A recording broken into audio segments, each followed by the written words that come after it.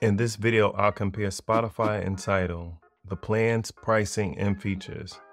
There have been significant changes to Spotify and Tidal's pricing and plans, so I wanted to make a video explaining the differences and comparing them. So let's see how they stack up so you can decide which is best for you.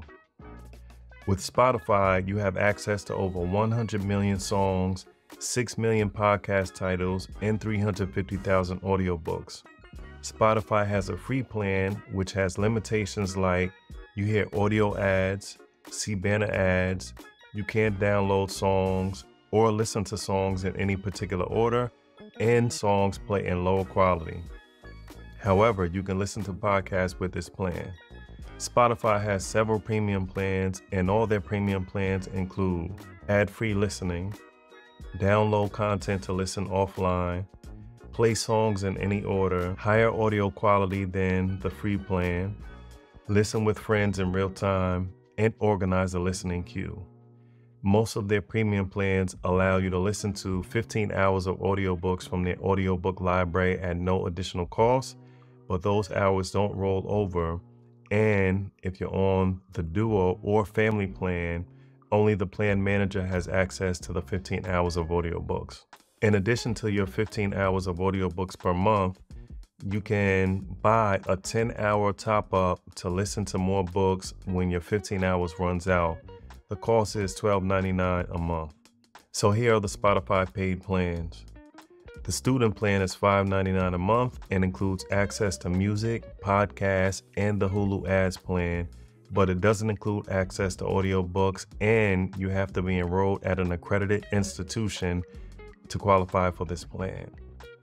The individual plan is $11.99 a month and includes access to music, podcasts, and 15 hours of audiobooks. The duo plan gives you access to two premium plans and is $16.99 a month and includes access to music, podcasts, and 15 hours of audiobooks per month, but only the plan administrator gets access to the audiobooks.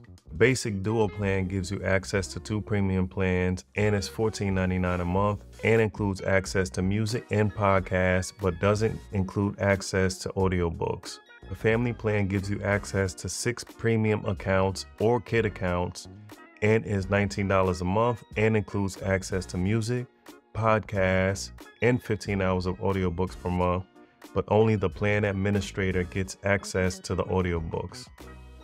There's an audiobooks only plan that is $9.99 a month and includes 15 hours of audiobooks per month and includes ads based music listening and podcasts. With Tidal, you have access to over 110 million songs. They pay artists more than Spotify does. They have over 650,000 music videos you can watch, which are included for free in all their plans. You can download music and listen offline. You can buy a DJ extension add on if you're a DJ, and all of their plans offer high resolution lossless audio and Dolby Atmos listening where available. You can create a live session to get a shareable link to share with others so they can listen with you, but you have to create a profile to do this, and there's a three hour duration limit. And they don't offer podcasts or audiobooks at all. So here are their plans. The student plan is $4.99 a month and includes access to music in high res, lossless, or Dolby Atmos audio quality, but it doesn't give you access to the Hulu ads plan like Spotify does. However, it's $1 cheaper than the Spotify student plan. The individual plan is $10.99 a month and includes access to music in high res, lossless, or Dolby Atmos audio quality, you also get the option to add the DJ extension to this plan for $9 a month. This add-on is only available with this individual plan. Without the add-on, it's $1 cheaper than the Spotify individual plan. The family plan gives you access to six premium accounts or kids accounts and is $16.99 a month and includes access to music in high res, lossless, or Dolby Atmos audio quality and is $3 cheaper than the Spotify family plan.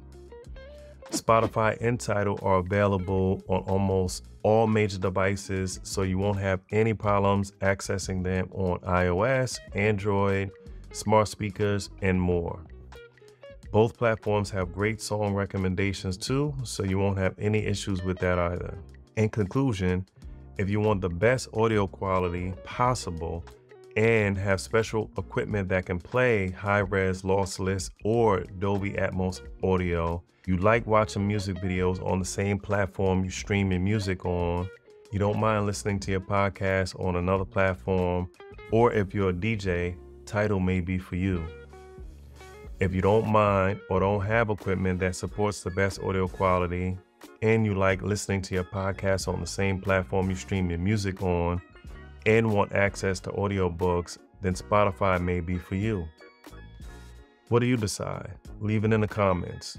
If this video was helpful, give it a like and subscribe to my channel and click the bell icon so you'll be notified when I drop new videos. I'll catch you on the next one.